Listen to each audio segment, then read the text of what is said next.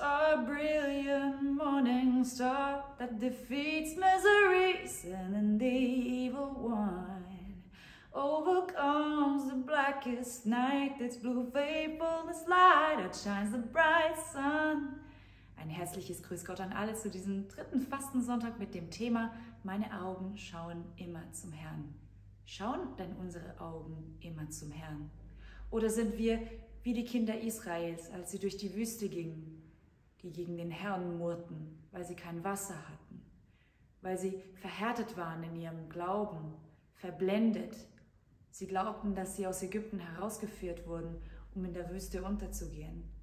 Oder wollen wir lieber dem Beispiel des Psalmisten folgen, der uns einlädt, mit Vertrauen, mit Dankbarkeit, mit Freude und Anbetung zum Herrn zu treten und ihn als unseren Schöpfer und König anzuerkennen?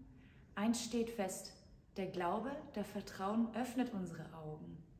Und wir werden dadurch Frieden mit Gott und miteinander haben. Und wir können seine Gnade bekommen, in der unsere Hoffnung und unsere Herrlichkeit ist.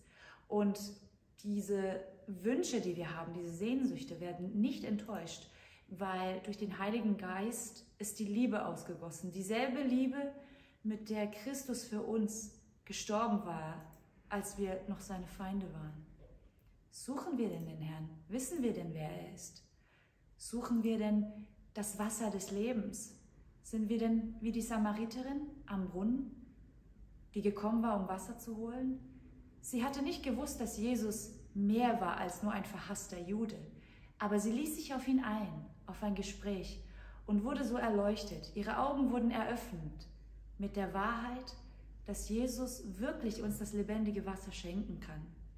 Deshalb möchte ich euch und uns alle einladen, dass wir noch einen Schritt tun, um auf den Herrn zu schauen, um ihn zu erkennen, so wie er ist. Denn er ist es, den wir wirklich über alles brauchen. Eine gesegnete Fortsetzung der Fastenzeit.